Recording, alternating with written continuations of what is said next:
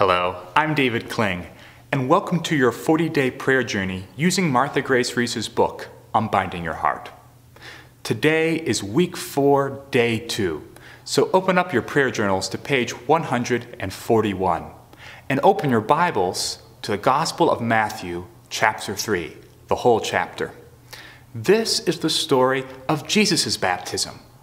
But before Jesus is baptized, the story shows us a panoramic view of hundreds of good, church going uh, followers of God in the time of Jesus who are all lining up by the banks of the river Jordan so that they can say, I'm sorry to God. They can repent to God, go under the water by John the Baptist, and when they come up, live their lives in a fresh, new way for God. You may have been going to church for many years, but that still doesn't make you perfect. Each of us has things in our lives, burdens that weigh us down, mistakes we've made, worries we have, um, sins we've committed.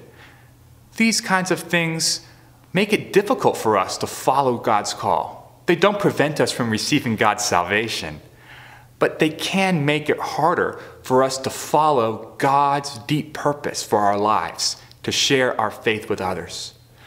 The good news is that we don't have to be perfect. We can receive God's forgiveness. We can feel His cleansing water of baptism. Today, I'd like you to just turn the faucet on a little bit, any faucet, your kitchen, your bathroom, and pass your hand under the water. Each time you do that, think about something in your life that needs to be cleansed away a mistake, a worry, something that you've done wrong. God forgives you. He takes that away, He cleanses you, and He sets you free to be a messenger of His good news. Each time you wash your hands today, remember the forgiveness that God offers you through Jesus Christ. He's cleaning you so that you can be an effective tool an instrument of peace in his hands. I hope you enjoyed today, and I can't wait to hear what happens next.